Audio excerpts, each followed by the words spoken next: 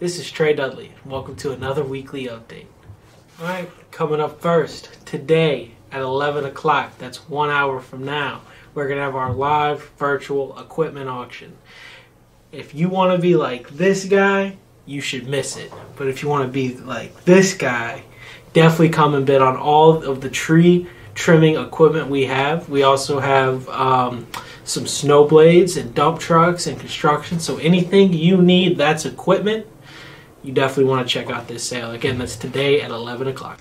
Alrighty, coming up next Friday, May 5th at 3 o'clock, we have 14356 Ashland Road in Hanover, Virginia. This is going to be a partially renovated house on three acres with an additional 2.1 buildable. So that's going to be five acres total.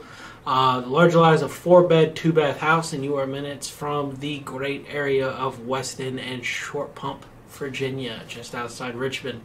Any interest in it? Give us a call or check out the website.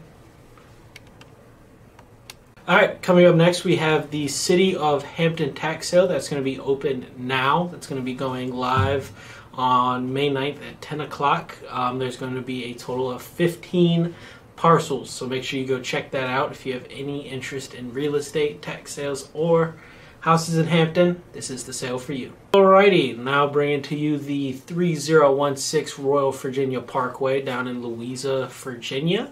It's going to be uh, May 10th at 3 o'clock. This is the former Royal Virginia Golf Course. It's 151 acres, 3,000 square feet of a two story house, and lots of potential development opportunities.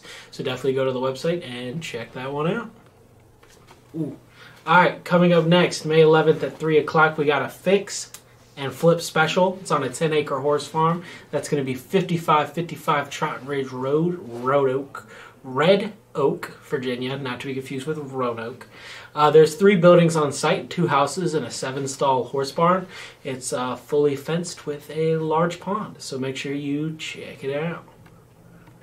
Alrighty, May 12th at 11 o'clock, we have 2712 Chamberlayne Avenue. This is going to be a foreclosure auction for a commercial property that's 4,424 square feet, 30 plus space parking lot, and on a 0.64 acres.